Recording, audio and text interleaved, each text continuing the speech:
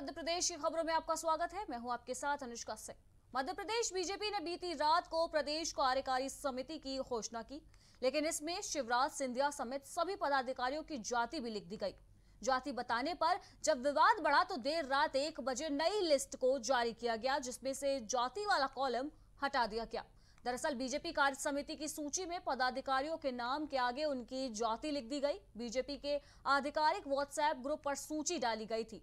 लिहाजा ये तेज़ी से लिस्ट वायरल भी हो गई। जाति वाली सूची पर विवाद बढ़ा तो ग्रुप से सूची को डिलीट कर दिया गया और देर रात करीब एक बजे नई सूची जारी की गई, जिसमें पदाधिकारियों की जाति का ज़िक्र नहीं है। इस बीच बीजेपी कार्य समिति में पहली बार ज्योतिरादित्य सिंधिया के कुछ समर्थकों को भी जगह मिल गई है। सिंधिया समर्थक इमरती देवी को कार्य समिति सदस्य बनाया गया है, जबकि रघुराज कंसाना और गिरिराज विशेष आमंत्रित सदस्य बने हैं। सिंधिया समर्थक भोपाल के युवा नेता कृष्णा गाड़गे भी कार्य समिति सदस्यों की सूची में शामिल है। कांग्रेस छोड़ बीजेपी में आने वाले एंदल सिंह कंसाना को भी कार्य समिति का सदस्य बनाया गया है।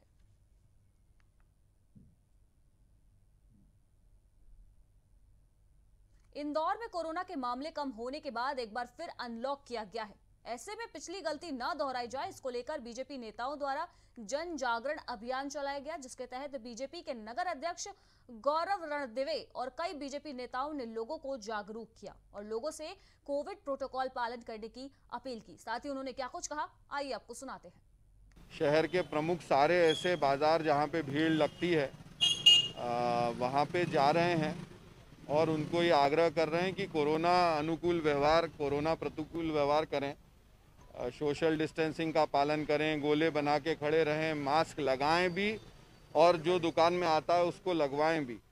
साथ ही साथ वैक्सीनेशन पे ज़ोर दे रहे हैं तो कोरोना को लेके ये लगातार हमारा जनजागृति अभियान चल रहा है, जो आगामी आने वाले दिनों में और चलता रहेगा। और रोज़ हम 9 बजे से लेकर तो 11 बजे तक दो घंटे शहर के सभी प्रमुख बाजारों में जाके कोरोना प्रोटोकॉल का मध्य प्रदेश हाईकोर्ट की इंदौर खंडपीठ से मध्य प्रदेश शासन को एक नोटिस जारी किया गया है, जिसमें कहा गया है कि पिछले दिनों इंदौर, उज्जैन और मंदसौर ज़िले में हुए सांप्रदायिक दंगों के पीड़ितों को मुआवजा जारी किया जाए और लापरवाही करने वाले अधिकारियों पर कार्यवाही हो। गौरतलब है कि इंदौर, उज्जैन और मंदसौर में राम मंदिर के लिए चंदा वसूलने के दौरान सांप्रदायिक हिंसा की गई थी मुस्लिम समुदाय के घरों में तोड़फोड़ व मारपीट की गई थी। वहीं जिस तरह से केस दर्ज होना चाहिए था, उस तरीके से भी वो केस दर्ज नहीं हुए थे। वहीं राज्य शासन से मांग की गई है कि जिन परिवारों को नुकसान पहुँचा है, उन्हें तुरंत मुआवजा दिया जाए और संबंधित कलेक्टरों, पुलिस अधिकारियों के खिलाफ जाँच और कार्यवाही की जाए। वहीं इस मामले में सात दिन में जवाब मांगा गया है।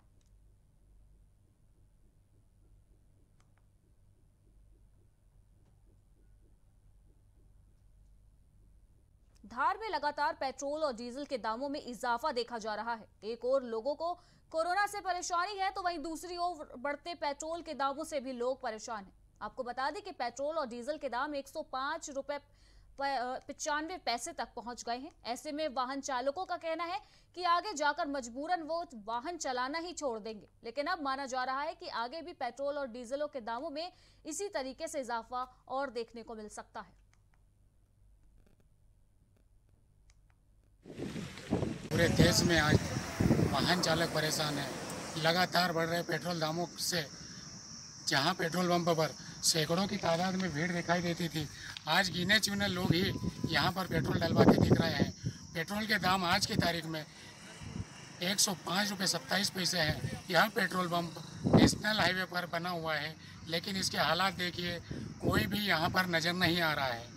प्रदेश में जूनियर डॉक्टरों के बाद अब नर्सिंग एसोसिएशन ने हड़ताल पर जाने का निर्णय लिया है। अपनी लंबित मांगों को लेकर पूरे प्रदेश में नर्सिंग एसोसिएशन द्वारा सात दिन काली पट्टी बांधकर कार्य किया जा रहा है।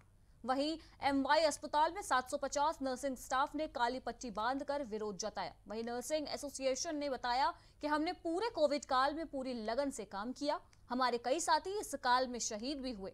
हमारी मांग है कि उनसे किस परिजनों को अनुकंपा नियुक्ति के साथ उन्हें कोरोना योद्धा के रूप में सम्मानित किया जाए। साथ ही उच्च स्तरीय वेतनमान दो ग्रेड अन्य राज्यों की तरह मध्य प्रदेश में कार्यरत समस्त नर्सेस को भी दिया जाए। वहीं पुरानी पेंशन योजना को भी लागू किया जाए।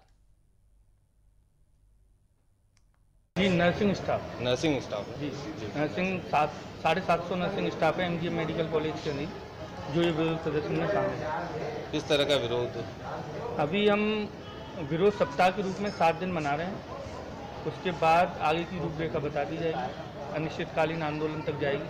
क्योंकि शासन सुध ही नहीं ले रहा है। बारह मई को नर्सेज डे आज से दो महीने पहले ही हमने अपनी मांगों को लेकर ज्ञापन दिया था और केवल इतनी दरख्वास्त की थी कि चिकित्सा शिक्षा मंत्री हमसे वार्तालाप करें और इन मांगों पर विचार करें। लेकिन बावजूद इसके उनका रवैया, सरकार का रवैया तानाशाही पूरी है। मध्य प्रदेश की राजधानी भोपाल में भी कोरोना के एक नए केसों की संख्या में गिरावट आने के बाद अब वहाँ भी अनलॉक की प्रक्रिया शुरू की जा रही है। भोपाल में गुरुवार से बाज़ार खोले जा सकेंगे तो सिर्फ़ रविवार को ही कोरोना कर्फ्यू लागू रहेगा। भोपाल के कलेक्टर अविनाश लावानिया ने देर रात ये आदेश जारी कर दिए हैं। साथ ही नई गाइडलाइंस भी जारी कर दी गई हैं। नई गाइडलाइंस के मुताबिक अब भोपाल में सिर्फ़ रविवार को ही कोरोना कर्फ्यू लागू रहेगा, जबकि इससे पहले कोरोना कर्फ्यू शनिवार और रविवार को लागू रहता था। इसके अलावा हर शाम आठ बजे से सुबह छह बजे तक नाइट कर्फ्यू भी लागू रहेगा। नए आदेश के तहत अब हेयर सैलॉन भी खोले जाएँगे।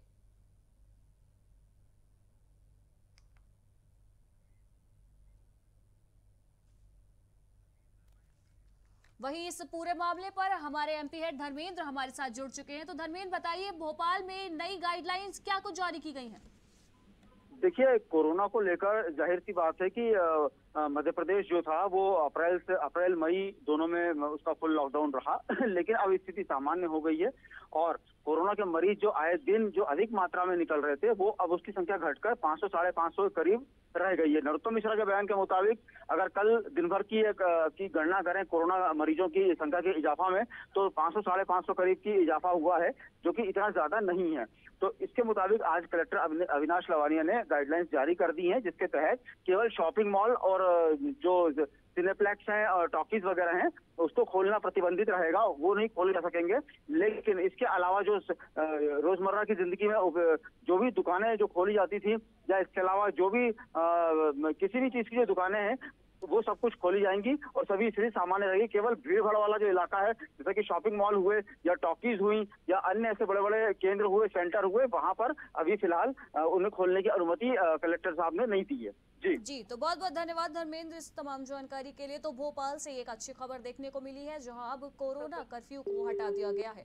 आपको बता दें कि आज ही भोपाल डीएम ने नई गाइडलाइंस को जारी किया है जिसके बाद अब अनलॉक की प्रक्रिया एक बार फिर भोपाल में शुरू कर दी जाएगी। आपको बता दें कि कल से नए कोविड गाइडलाइंस का पालन किया जाएगा जिसमें अनलॉक की प्रक्रिया को शुरू कर दिया जाएगा। आपको बता दें कि लगातार भोपाल में लॉकडाउन था जिसके बाद अब भोपाल में कोरोना मरीजों की संख्या में लगातार गिरावट दर्ज की जा रही है, जिसके बाद आज डीएम ने ये बड़ा आदेश लागू करते हुए भोपाल में अनलॉक की प्रक्रिया को शुरू करने के आदेश जारी कर दिए हैं। साथ ही नई गाइडलाइंस भी जारी कर दी गई हैं, जिसमें बताया गया है कि कल से अनलॉक की प्रक्रिया को शुरू कर दिया जाएगा, जिसमें बाजारों को खोलने की अनुमति दी गई है। फ़िलहाल शॉपिंग मॉल्स को खोला नहीं जाएगा।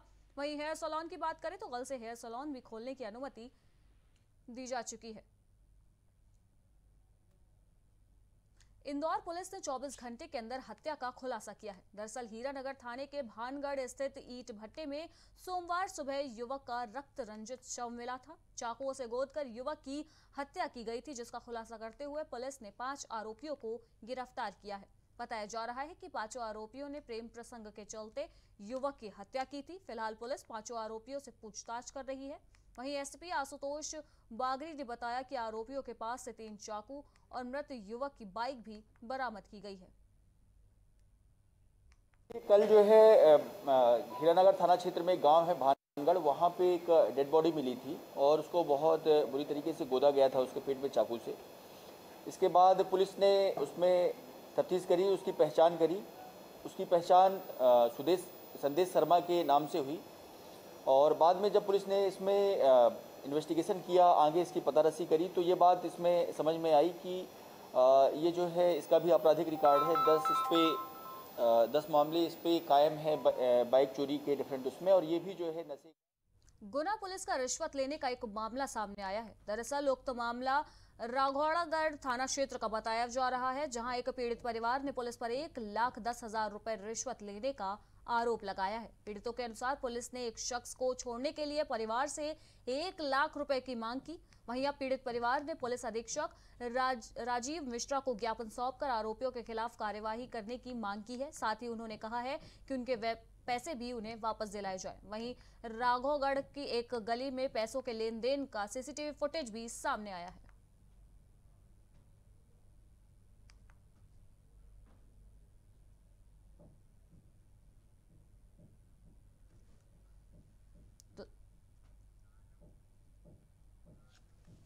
वहीं इस पूरे मामले पर गुना संवाददाता जालम सिंह हमारे साथ जुड़ चुके हैं। तो बताइए, क्या कुछ है ये पूरा मामला? जी मैम, ये हुआ था कि वो जो व्यक्ति था, मुलजिम जिसने आरोपी बनाया, पुलिस ने आरोपी बनाया जिसको, वो आटा पिसवाने के लिए अपने गाँव से राधोगढ़ की ओर आ रहा था। तो पुलिस ने चेकिंग के दौरान उसको पकड़ा और पकड़ के उसको थाने ले गई। उसकी सिर्फ़ जात पूछी गई थी कि आप कौन कास्ट हो। तो उसने अपना जात में कंजर बताया। तो कंजर होने के नाते वो उसको थाने ले गई, थाने में उसको बिठा लिया गया। फिर उसके बाद में उसको डराया धमकाया गया, फिर परिजनों को बुलाया गया इसमें। परिजनों को बुलाने के बाद में फिर उसमें एक लाख दस हज़ार रुपए की डिमांड रखी गई। तो उस टाइम पे उनके परिजनों के पास पैसे नहीं थे। फिर वो घर पे वापस गए तो अपना खेत गिरवी रखकर वापस दो महिलाएँ पैसे लेके आएँगे तो गली में जाके वो लेन हुआ। थाने के आरक्षक एक महोदय थे और एक ड्राइवर था जो थाना परवारी का ड्राइवर था जो। जी तो जिस प्रकार से पूरा मामला सामने आया जहाँ पीड़ित परिवार ने फ़िलहाल पुलिस अधीक्षक से आ, मामले की शिकायत की है साथ ही ज्ञापन भी सौंपा है तो ऐसे में पुलिस अधीक्षक का क्या कुछ बयान सामने आया है? जी तो पुलिस अधीक्षक महोदय आवेदन द्वारा शिकायत की गई थी तो उस अनुसार अभी पुलिस की ओर से कोई कार्रवाई देखने को मिली नहीं है। जी तो बहुत बहुत शुक्रिया बहुत बहुत शुक्रिया जालम इस तमाम जानकारी के लिए। तो गुना से आपको एक खबर बता रहे थे जहाँ पुलिस कर्मियों का रिश्वत लेते हुए एक वीडियो इस वक्त सोशल मीडिया पर वायरल हो रहा है। तो बढ़ते हैं हमारी अगली खबर की ओर जहाँ इंदौर नारकोटिक्स विभाग को एक बड़ी सफलता हाथ लगी है जहाँ एनसीबी की टीम ने दो लोगों के पास से 50 किलो गांजा बरामद किया है जिसकी कीमत 50 लाख रुपए बताई जा रही है। बताया जा रहा है कि दोनों आरोपी बाईपास के रास्ते बड़वानी से इंदौर आ रहे थे, जिसकी सूचना नार्कोटिक्स को मिलने के बाद आरोपियों को गांजे की डिलीवरी के पहले ही गिरफ़्तार कर लिया गया। फ़िलहाल पुलिस दोनों आरोपियों को हिरासत में लेकर पूछताछ कर रही है। इंदौर ने आज गांजे की कार्रवाई की है इसमें दो आरोपियों के कब्जे से 50 किलोग्राम गांजा जब्त किया है। दोनों आरोपी गाँव वरला जिला बड़वानी के रहने वाले हैं। एक का नाम है गोकुल माली और दूसरे का नाम है नूर अली। तो इंदौर से खबर सामने आई। वही इसी खबर पर तमाम जानकारी के लिए हमारे संवाददाता शहनवाज हमारे साथ जुड़ चुके हैं। तो शहनवाज, बताइए क्या है ये पूरा मामला?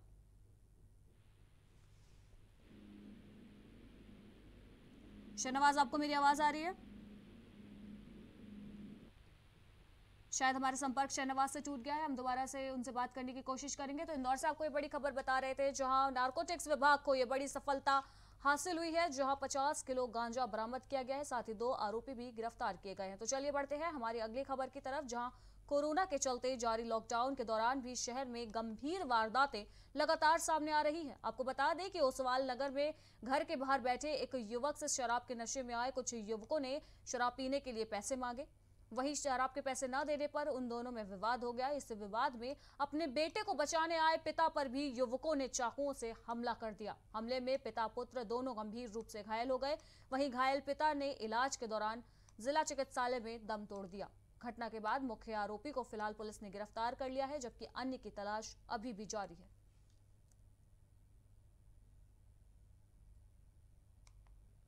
थाना डीडी नगर क्षेत्र के अंतर्गत जो उसवाल नगर है, यहाँ पे एक चाकूबाजी की घटना हुई। इसमें जो चक्षुदर्शी उन्होंने बताया, एक हैप्पी शर्मा, सॉरी, ये धवल धवल शर्मा नाम का व्यक्ति है और उसका भाई हैप्पी शर्मा। इन्होंने शराब पीने की बात को लेकर और शराब के पैसे मांगने की बात को लेकर एक प्रदीप राठौर नाम के व्यक्ति है, उनके साथ चाकूबाजी की, जिसमें प्रदीप राठौर जो है, उनकी मृत्यु हो चुकी है अभी। और उनका जो बेटा है, शिवम, जिसने बीज बचाव किया। इंदौर के सदर बाज़ार थाना क्षेत्र में महिला ने फांसी लगाकर आत्महत्या कर ली। आत्महत्या का कारण पैसों के लेन देन का विवाद बताया जा रहा है। वहीं मृतका के परिजनों ने ससुराल पक्ष पर हत्या का आरोप लगाया है। दरअसल सदर बाज़ार थाना क्षेत्र के भोई मोहल्ला में रहने वाली महिला लक्ष्मी ने अपने घर में ही साड़ी के साड़ी से फांसी का फंदा लगाकर आत्महत्या कर ली। महिला के पास से एक सुसाइड नोट भी बरामद किया गया है, जिसमें पैसों का लेन देन पर विवाद कारण बताया जा रहा है। हालाँकि महिला के मायके वालों ने ससुराल पक्ष पर हत्या का आरोप लगाया है, जिसमें उन्होंने ये भी बताया है कि मृतका पढ़ना लिखना नहीं जानती थी। इसके बावजूद वो सुसाइड नोट कैसे लिख सकती है? मृतका के परिजनों ने हत्या का आरोप लगाते हुए जमकर हंगामा की, भी किया। वहीं मौके पर पहुँची पुलिस ने मामले को दर्ज कर शव को पोस्टमार्टम के लिए भेज दिया है। रीवा में मॉर्निंग वॉक के लिए घर से निकली युवती का शव मिलने से सनसनी मच गई। बता दें कि मरने से पहले युवती ने अपने एक दोस्त को अपनी एक सेल्फी भी भेजी थी। दरअसल मामला बिछिया थाना क्षेत्र का बताया जा रहा है, जहाँ रानी तालाब के पास रहने वाली युवती नेहा हर रोज की तरह मंगलवार को भी रानी तालाब में मॉर्निंग वॉक के लिए घर से निकली थी, लेकिन वो वापस घर लौट के नहीं पहुँची, जिसकी शिकायत परिजनों ने थाने में दर्ज कराई। वहीं युवती का शव बिचुआ थाना अंतर्गत सिलपरा नहर में मिला। मरने से पहले युवती ने अपने दोस्त को व्हाट्सएप पर एक सेल्फी भी भेजी थी। वह सेल्फी सिलपरा नहर की थी, लिहाजा उसके दोस्त ने अनहोनी को भाप लिया और सेल्फी में युवती नहर के किनारे खड़ी दिख रही थी, जिसके बाद तत्काल पुलिस को इस पूरी घटना की जानकारी दी गई। इसके बाद पुलिस ने सिलपरा नहर में रेस्क्यू अभियान चलाया। वहीं घंटों की मुशक्कत के बाद रेस्क्यू करके शव को बाहर निकाला गया। फ़िलहाल परिजनों ने उसके दोस्त पर ही आत्महत्या के लिए उकसाने का आरोप लगाया है। करीब 10 बजे थाना विषय को सूचना मिली थी कि सुबह एक लड़की जो है मॉर्निंग वॉक के लिए रानी तालाब गई थी। रानी तालाब के बाद वो कहाँ चली गई पता नहीं चला, लेकिन कुछ घंटे बाद जो है उसके जो दोस्त है, उसके पास फ़ोटो आई है सिल्कर नहर के सामने जो है फ़ोटो खिंचवा कर भेजी है। उसके दोस्त ने ही उसकी माँ को वह फ़ोटो भेज कर जानकारी दी कि लड़की ने वहाँ की फ़ोटो सिल्परा नहर की फ़ोटो दी। तो महिला द्वारा जो है थाना विषय में सूचना दी गई। सूचना के दौरान ये क्लियर हुआ कि लड़की जो है आपकी मॉर्निंग वॉक के लिए निकली थी, लेकिन वहाँ कैसे पहुँच गई, उसमें कहीं ना कहीं जो आपका दिली तिवारी नाम का एक लड़का है, उसका कहीं ना कहीं रोल है और वही संदेह के घेरे में आ रहा है। तो हम लोग द्वारा छानबीन की गई, रात में की गई तो कोई जानकारी नहीं मिली। आज सुबह जब सर्चिंग चल रही थी होमगार्ड के द्वारा तो बॉडी मिली है जिसमें पहचान हुई है कि नेहा पटेल नाम की लड़की है और उसको जो है लेकर अभी एस डी का ये मैसेज हो सकता है कि मैं जा रही हूँ या कोई उसका अपना पर्सनल कोई मैटर रहा हो जिसकी जानकारी दी हो चूँकि वो जानकारी अपने परिजनों को भी दे सकती थी। परिजनों को ना देकर अगर किसी लड़के को दे रही है तो थोड़ा सा संदेहात्मक तो है, जो भी अगर कोई मामले सिवनी के छपारा थाना के अंतर्गत आने वाले ग्राम भरिया टोला में बारिश की वजह से दीवार गिरने से बड़ा हादसा सामने आया। आपको बता दें कि एक ही घर की कच्ची यानी मिट्टी की दीवार तेज बारिश के कारण ढह गई, जिसकी वजह से घर के कई लोग दीवार के नीचे दब गए। घायलों को ग्रामीणों की मदद से बाहर निकाला गया और अस्पताल में तत्काल भर्ती करवाया गया। वहीं दो बच्चों की दीवार के नीचे दबने से मौत भी हो गई। और इसी के साथ मध्य प्रदेश की खबरों में फ़िलहाल इतना ही। देश दुनिया की बाकी की तमाम खबरों के लिए आप बने रहिए प्राइम टीवी के साथ। नमस्कार।